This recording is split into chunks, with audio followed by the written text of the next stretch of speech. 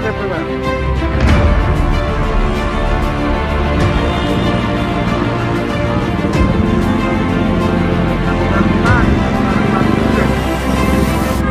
Boy, I guess.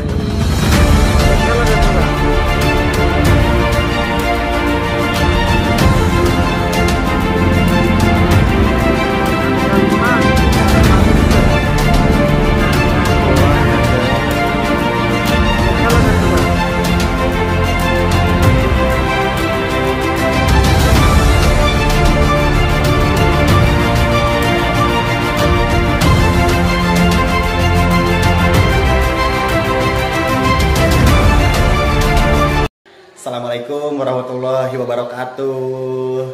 Ya teman-teman, di video kali ini Panji akan jawab beberapa pertanyaan dari teman-teman semua tentang masalah evakuasi buaya berkalumban di Palu sana.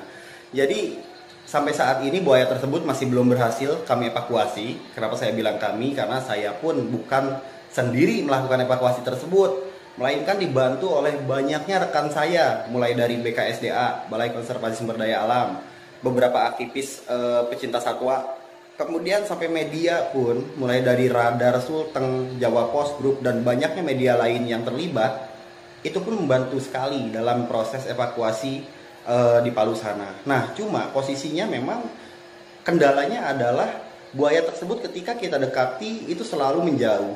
Padahal di beberapa kesempatan ketika kita nggak ada di lokasi buaya itu muncul, buaya tersebut sering loh muncul ke permukaan air bahkan ke tepian pantai untuk berjemur sampai dideketin sama masyarakat pun acuh gitu loh. Jadi seakan buaya itu tahu mana e, para penyelamatnya mana yang bukan.